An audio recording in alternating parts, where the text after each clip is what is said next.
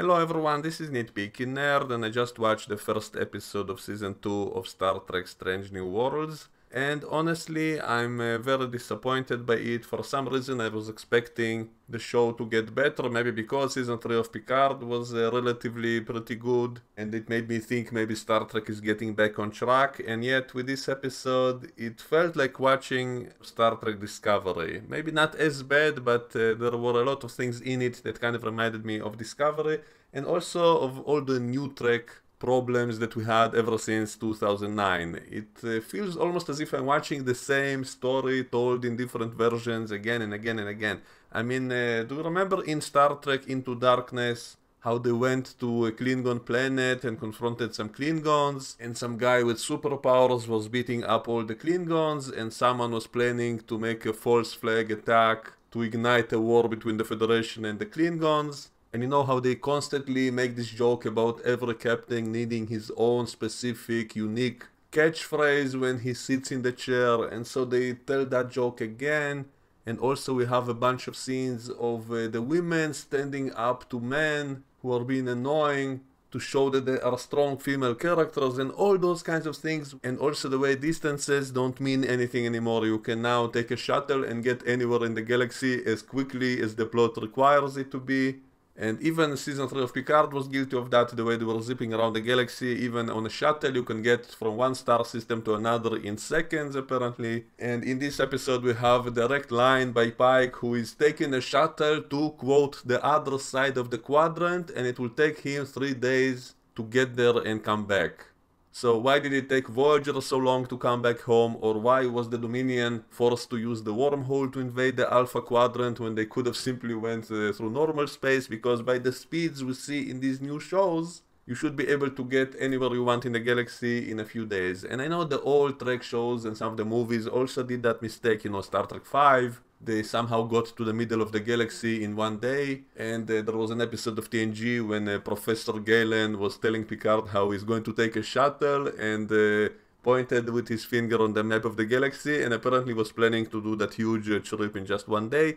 So the old Trek shows also had that mistake once in a while, but in the new Trek shows it's like they're not even trying, like they're constantly doing this mistake, like that's the norm now, and so it makes no sense. Why was the Enterprise the only ship in range? If they could simply call for backup and a thousand other ships will show up, since it apparently takes only a few minutes to get to another star system. And so it uh, destroys the realism, it destroys the logic of this universe. That's why it is annoying to me. And what's the big deal about just writing a correct dialogue to explain it. You don't have to change the pacing of the episode. You want uh, faster pacing? That's fine. I also want it. Just write it better in a way that makes sense and then I won't have a problem with it. Just don't mention how long it took to get there. Simply imply it took a while. And so you don't even have to say specific amount of hours or days or weeks. Just don't mention it. Just imply that some time passed. Leave some wiggle room. Don't make uh, specific statements. So we had a scene of Pike directly saying it will take me just a few days to get to the other side of the quadrant. I guess we can explain it away that he was exaggerating in his dialogue that he didn't literally mean the other side of the quadrant, but uh, I suspect we're going to get a lot more stuff like that, and so you cannot deny that the writers just don't care about those details, which is a shame. So anyway, the episode begins with a shot of Starbase 1, which I actually kind of like because, you know, those uh, domed forests in space look really beautiful and all of that. And so visually I actually kind of like that Starbase, but uh, they zoom into it and suddenly we see a bunch of small crafts flying all over the place, zipping around it. So I'm immediately thinking, wait, is the Starbase under attack? Why is there a fleet of small ships uh, surrounding it and zipping around it? Really close to it in huge speeds, so it looks like an attack scene, like a, a, war is starting again or something. And then we see the Enterprise is docked there, and we see like uh, dozens of shuttles flying all around it in huge speeds. And so, what the hell is going on? And apparently, nothing. It's just regular routine. It's simply because they, again, they want to show us better special effects, and so they show us things which are illogical and inconsistent with the other shows and movies. Because we never saw such activity for no reason. So they want to show off special effects, and that's why they do it even though it makes no sense. And so it immediately annoyed me because i'm not against special effects. I'm not against showing fleets of ships. You know that's one of the things i loved in deep space nine. Whenever they showed huge uh, fleet battles I'm fine with it, I love it when it makes sense in the story, and here it doesn't. So I guess they did say something about inspections of the ships, so maybe all those shuttles flying all over it are part of it. Maybe they're examining the ships from the outside for some reason as part of that inspection, but why are they flying so quickly, almost colliding with each other and all of that? So that immediately kind of again gave me the JJ vibes. As I mentioned earlier, how it reminds me of the new movies. You know, there's a scene in this episode of a ship hiding under the surface of a planet and rising from it to space. You know how in all the JJ movies and the new shows they love doing that thing of a starship hiding somewhere under the surface of a planet, either under the water or underground or in the middle of a planet, and it has to rise, burst out of it, and then fly into space. And so, how many times have we seen that? It uh, is starting to get silly, in my opinion. He even did that in Star Wars with the Emperor's fleet bursting out of the ground and flying up because they've been secretly building it and they did something like that in this episode. So constantly all these new Trek elements which might be visually impressive but they are getting repetitive and uh, also often don't really make any sense if we think about it and I'll get to it shortly. So anyway, Pike is planning to defend Una in court and they're talking about some amazing female lawyer who they have to get because she's the only one who can possibly save her. And then he says that he will take a shuttle to come talk with her face to face. You know, he's not even taking the ship, he's taking a small shuttle to the other side of the quadrant. You know how in early TNG shuttles didn't even have warp drive. They always said that the shuttle couldn't have got out so far by itself without a mothership. They implied that shuttles don't even have a warp drive. At least in the early seasons of TNG. Later on, shuttles did have warp drive, but even then they said they are slower than normal ships. So here, Pike is taking a shuttle to the other side of the quadrant, and he leaves Spock in command of the ship. And Spock is another problem, again, like in the JJ movies when he was over emotional and unstable and kind of crazy. The same thing happens in this episode. Spock, for some reason, is losing control of his emotions and is behaving in a very un-Vulcan manner. And so that's again something that became the norm. You know, in the original show, it did happen once in a while, but normally he would act a certain way, and only once in a while, if some alien substance affected him somehow, then he would lose control of his emotions. It did happen once in a while, but in the new shows, it keeps happening all the time. So the norm here is that he's always un-Vulcan like. He's always super emotional, and he's now crying, almost like his uh, foster sister Michael Burnham, who was crying in every episode, despite being raised by Vulcans and taught to suppress her emotions and yet was crying in every episode. So now Spock is that way as well. So now he's in love with Nurse Chapel and isn't he married? Doesn't he have a wife? T'Pring on Vulcan. So why is he behaving in a creepy way, you know, watching Chapel sleep in the bed? and constantly thinking about her and endangering the mission to save her life and all that uh, stuff and we literally see him crying with tears and uh, screaming and being emotional. So just like in the 2009 movie, and like in Discovery, when everything is super emotional and over exaggerated, and also they add all the traumatic background to every character in every episode. Like now, Dr. M'Benga is revealed to have PTSD from the war with the Klingons, because he was on some planet on which everyone was slaughtered and there was so much blood that even it was raining blood from the sky and stuff like that. So he's now revealed to have this uh, huge trauma, even though didn't we have a trauma story with him already with his daughter in the previous season and Spock is over emotional and not thinking straight and then he decides to steal the Enterprise. so remember the time when Kirk stole the Enterprise in Star Trek 3? And everyone acted so shocked and surprised by it. Well, shouldn't they have said what again? Haven't we done this like uh, so many times before? So and what kills me is how in the very end there are no consequences to it. Like the admiral just forgives him and says oh spock you stole the enterprise you disobeyed my orders you faked the warp core breach uh, and on and on he could have went. And he said you know what? Ah, never mind. That's okay. No big deal. And i'm like what what the hell? It's like just in like in Discovery, you know, they had a whole episode about some planet with prisoners, and they decided to release all the prisoners because they were all held by their own society, but they decided that society is corrupt, and so it must be that all the prisoners are innocent, and let's just free all the prisoners and not worry about it. So And also in the JJ movies, there was that whole stuff with Kirk being uh, like a rebel and he also doing whatever he wants and disobeys the Prime Directive. And also there are no consequences. They only like demoted him for one scene, and then a few scenes later, he's somehow back as captain of the Enterprise, and there are no lasting consequences. And know, in the old movies and shows, they did sometimes do it, but there were some consequences, and only because of some luck or some bigger events they managed to get out of trouble. Like they stole the Enterprise, but a movie later they just happened to save all of humanity, and so they pardoned them for that. So it made some kind of sense at least, and here there is no sense. So Spock was directly ordered not to take the Enterprise there, and then he decides to just steal the Enterprise. And I was uh, thinking maybe in the end of the episode maybe he'll explain it away that maybe something was affecting his brain and that's why he was losing control of his emotions and maybe they would take that into consideration that he was kind of mentally unstable for some reason something beyond his control and so after that's fixed maybe that's why they forgave him. But there was not even an attempt to do that. So he just told the enterprise disobeyed orders and then came back and then they just forgave him and nothing bad happens. And so what the hell? And also dr M'Benga and Nurse Chapel just decide to use some drug that will enhance their abilities. Somehow they become super strong and super fast and are able to beat up a bunch of Klingons hand to hand without uh, trouble, you know, just like Khan did in that movie, Into Darkness. And there are no consequences either. Like, no one told them, hey, wait a second, how did you do that exactly? Or maybe show some uh, physical side effects. If they did something like that, shouldn't there be a downside? Otherwise, it begs the question why not use it all the time if there are no side effects? So, apparently, it's totally fine to use drugs. And so, isn't that the reason that number one is in prison? Because uh, they discovered that she's genetically augmented and it's against Starfleet rules, and that's why she's in prison.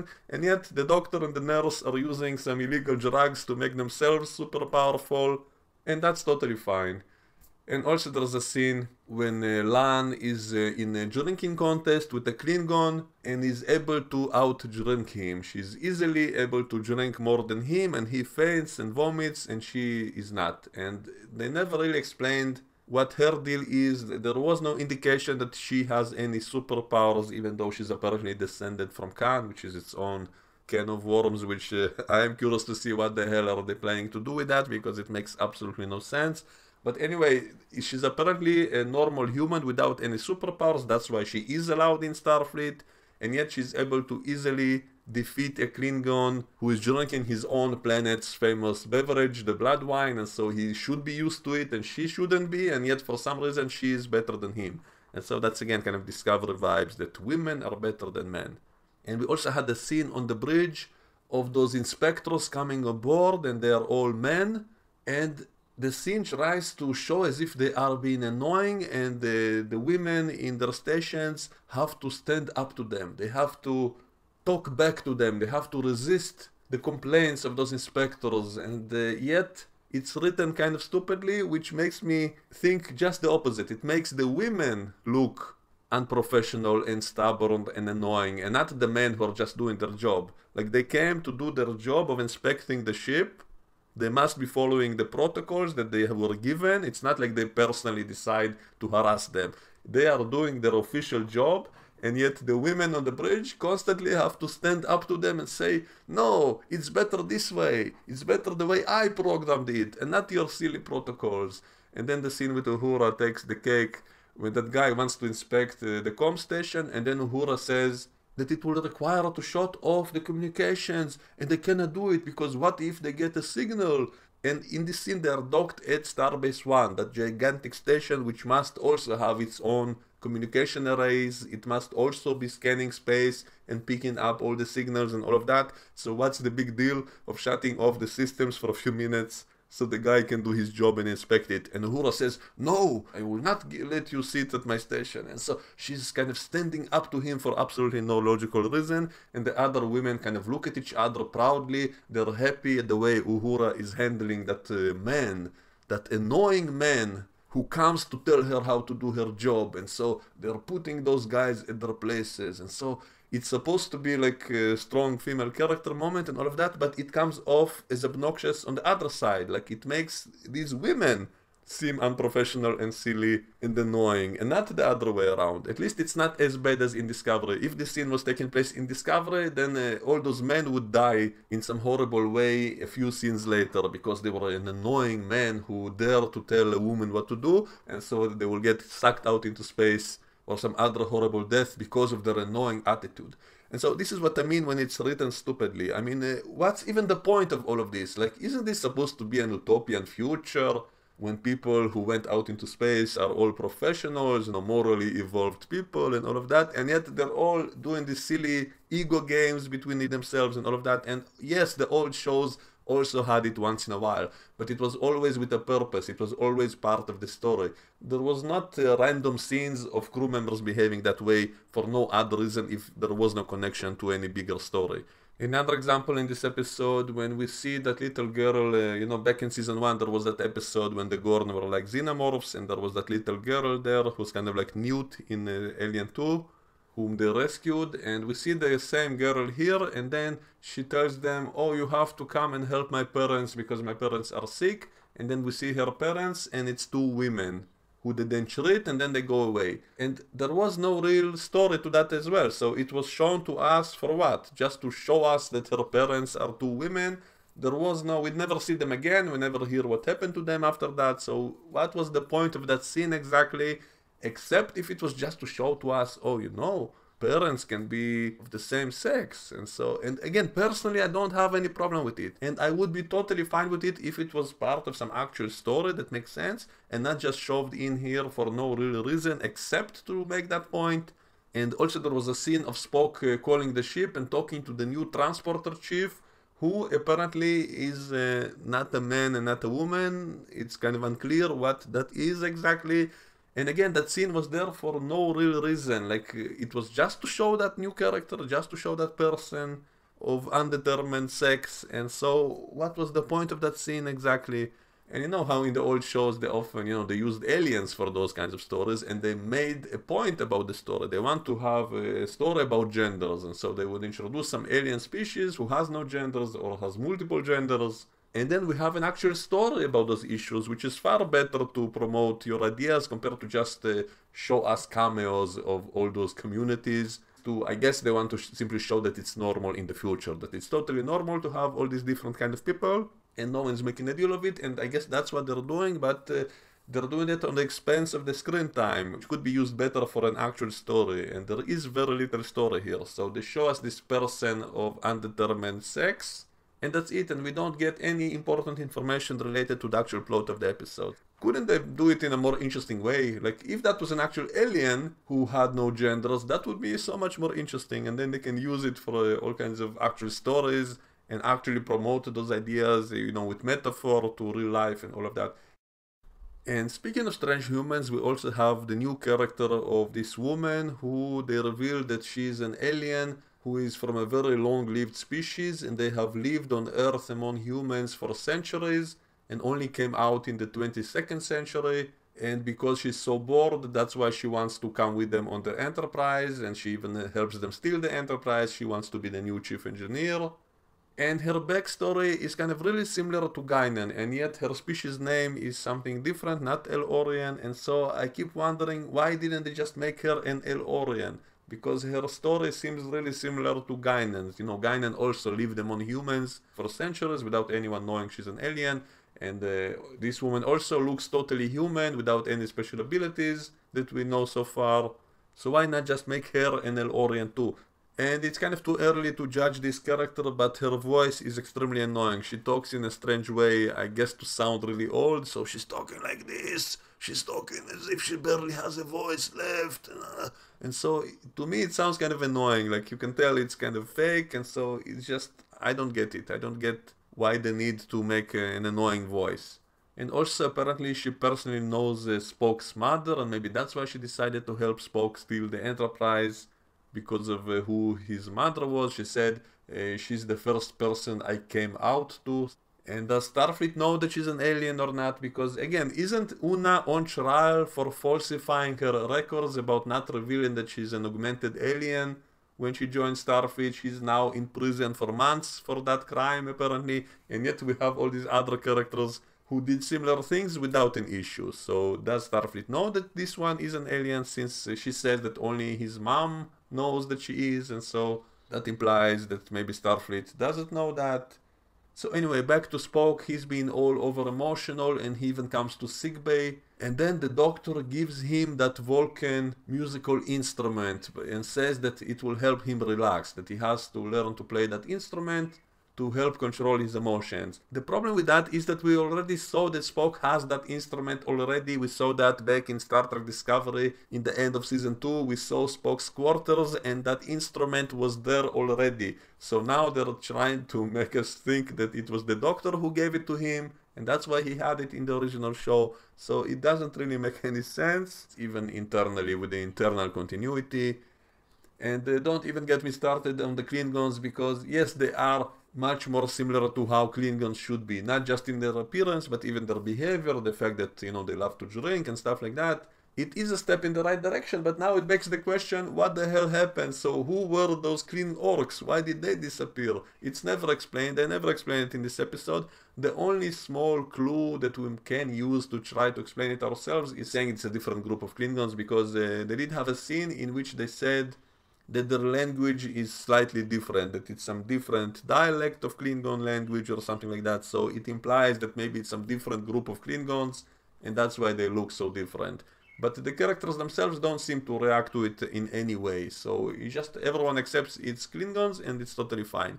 So I have some mixed feelings on this issue because on the one hand I'm glad we don't have to see the Discovery Klingorks ever again. On the other hand, since we never had an explanation for this mess, now it's even a bigger continuity mess. So Klingon seems to be fluctuating in their appearance. And we had that scene of La'an out drinking a Klingon because she's such a badass woman and what is annoying to me about this scene is that, uh, you know, it reminded me of a scene from Deep Space Nine when Sisko and his crew had to pretend to be Klingons and go to some Klingon party in which everyone had to drink a lot. And they said that they took some anti intoxicant to be able to drink with the Klingons and still be able to stand and not get drunk, basically. And so that explains how they're able to drink with the other Klingons without getting poisoned by it and all of that. And also there was a scene in TNG when Worf wanted to drink some tea with Dr. Pulaski, and Pulaski had to specifically inject herself with something to be able to withstand that Klingon drink, otherwise it would be fatal for her, because Klingon drinks are fatal to humans. So this stuff has been established and also makes sense just because they're aliens, so it makes sense that their food and drink might be kind of dangerous to you. And yet, nowhere in this episode was it ever mentioned that maybe it's kind of a problem, maybe we should take something before that to be able to withstand the drinks and all of that, and yet they never do that, and so that also annoys me.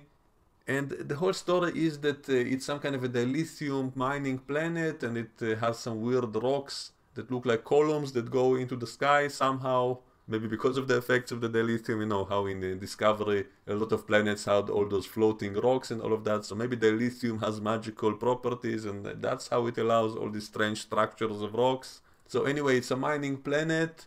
And because the mining guilds made so much money during the Klingon Federation War because they were selling so much dilithium, they want to reignite that war again for profit. Because, you know, they're capitalists and capitalism is bad according to the show, and so uh, that's why they're putting the whole galaxy at risk just for their own profits and that's why she sent that message to the enterprise which uhura only picked up because she stood up to that nasty man and also it's silly how they don't have any backup systems anyway. Like you're telling me that only this one station on the bridge is the only one able to pick up any signals from space and the starbase itself isn't able to and there is no backup system. She has to specifically spend a few minutes to set up some backup systems so why didn't she do it before? And also that guy is also contradicting himself because at first he says it will take only a couple of hours that they will have no communications and later he said it will only take a few minutes. So make up your mind how long it will take.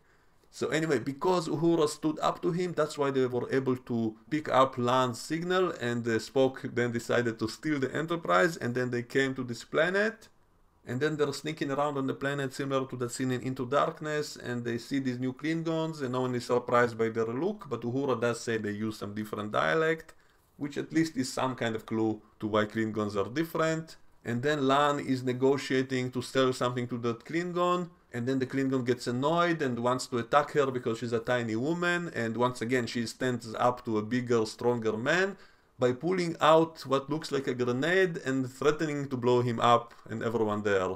And that is again something that is very repetitive. Didn't we just see a scene like that in Star Trek Picard when Picard's son pulled out what looked like a thermal detonator scaring everyone and then later it turned out to be something else it wasn't even a grenade and so here also it turns out to be fake it's not really a grenade but that Klingon got scared off and did complete the deal with her and meanwhile Nurse Chapel and M'Benga got kidnapped and brought to that hidden starship under the surface which they're planning to use for a false flag attack to attack the other Klingons in the system to reignite the Klingon Federation war because they want to sell more dilithium. So why did they even bring them? Oh, it's because they, they have some wounded people because they now say for the first time ever in Star Trek they reveal that photon torpedoes have some strange radiation that is causing sickness and here we see that uh, he has some PTSD. It reminds him of the Klingon War because he has to treat Klingon patients suddenly.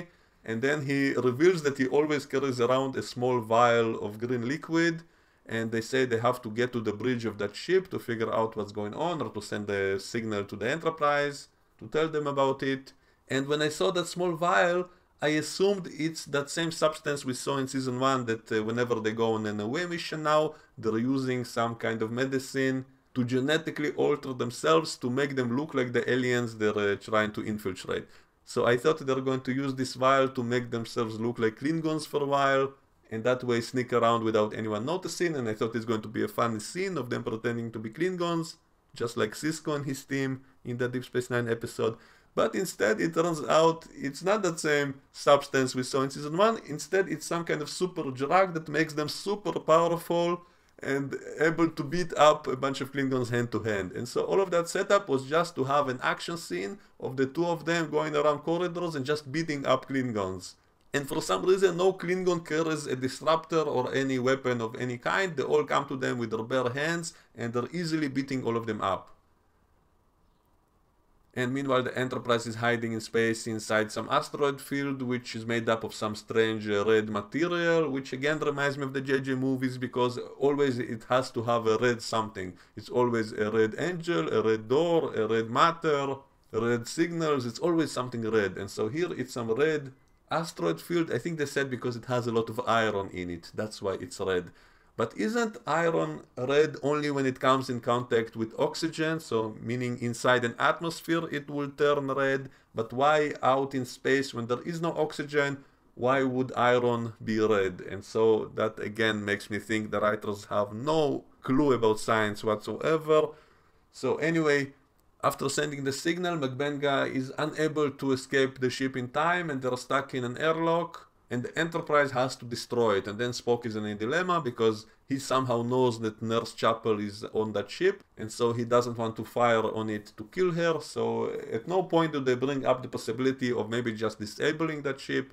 You know, if it's a false flag operation, maybe they would have evidence of it if they don't completely destroy the ship, if you just disable it and then they can prove it's not a real Federation ship. But no, they just say if we fire at it, we blow it up completely. So Spock is in a big dilemma. He keeps postponing his decision to fire because of his emotions and he's uh, again visibly emotional and crying and all of that. Even though the fate of the galaxy is at stake, he still wouldn't fire. And M'Benga and Nurse Chapel decide to eject out into space and they do it in the last second and barely able to survive when Spock does fire the torpedoes which blow up that ship. And then he beams them back on the Enterprise. And then they're all frozen. And then he comes running to the transporter room and is uh, personally reviving Nurse Chapel the only thing missing was slapping her around like in that movie The Abyss. That would have been great, or at least do some mouth to mouth or something. So he just kind of uh, resuscitates her by doing some CPR on her chest, and then she wakes up and says, "Why do you have to be so rough?" And then he's visibly crying with tears in his eyes and all of that.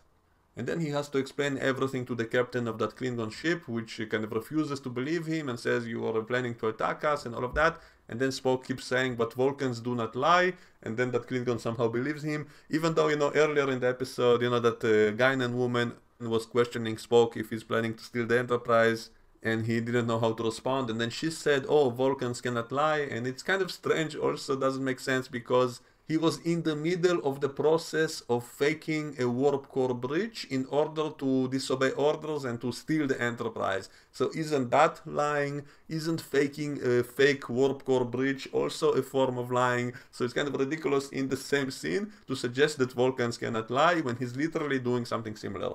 And so in the very end, he tells that Klingon captain that Vulcans do not lie, and then he, the Klingon says, I only believe a man when I see him face to face, and then they go down to the planet, and then Spock is also drinking with the Klingons, and then the Klingons really love him. So at least the Klingons do seem more like the Klingons I used to like from TNG and Deep Space Nine and all those shows in which the Klingons were fun it's not just about their appearance, it's because the Klingons used to be fun with stuff like this, because they used to joke around, they used to laugh, they used to party and all of that, and so that made them a fun species, unlike the Klingorks in Discovery, who are just nasty and boring and depressing. So it is definitely an improvement.